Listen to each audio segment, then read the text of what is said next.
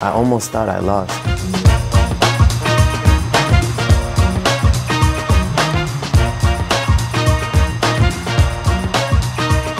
I did my first round, I got up and I was like, wow, can I actually do this? Can I win this BC1 again? Because my legs were shaking.